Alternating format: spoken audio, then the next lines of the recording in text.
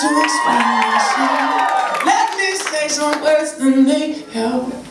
The reason why I've gotta be close to you is just that I don't want nobody else. And I'm gonna make sure I keep it all to myself, cause the stars move when you're watching the room. That's why I'm talking to you. Why I'm talking to you? I said my heart won't be